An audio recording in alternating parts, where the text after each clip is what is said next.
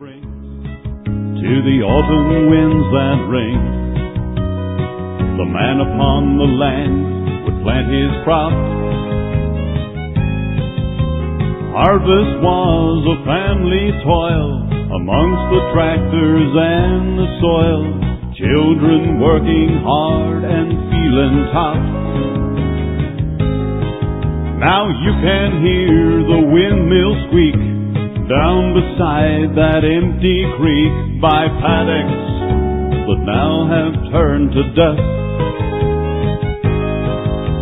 Not a cloud up in that sky, just loud thunder and the dry, fertile land which now looks like rust.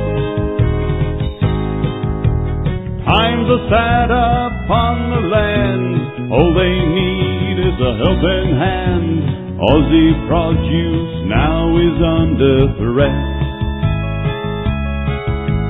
It's affecting me and you.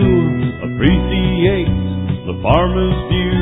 They're doing it tough up there on the farm. As, a, as an environment minister, I introduced laws that protected on private land, private farmland, uh, wetlands.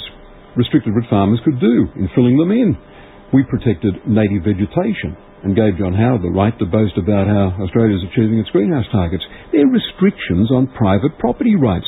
You stick a right to property in your constitution, and you have a conservative court say no, governments can't place those restrictions on private landholders. Leave it to parliaments, leave it to a free society, don't congeal it in a final constitutional document or a statute like this. Here's another objection to the draft we've been provided with, this statutory Bill of Rights, and that's about property.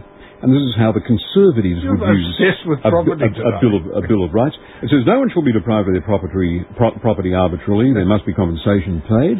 Well, that's an invitation for a conservative-leaning court to strike down, for example, the measures that are protecting native vegetation on private farmlands.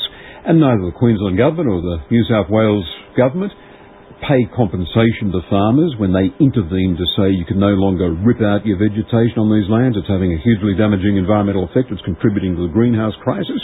And, and I, I reject the notion that we should shunt to judges the responsibility that should continue to reside with elected governments namely big land use decisions. It's affecting me and you. Appreciate the farmer's view. They're doing it tough up there on the farm.